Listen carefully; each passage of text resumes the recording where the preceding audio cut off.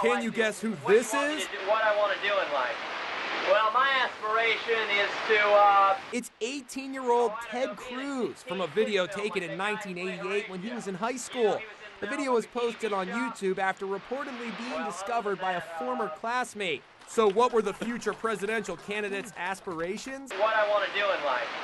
Well, my aspiration is to uh, take over the world, world domination, you know, rule everything, rich, powerful, that sort of stuff.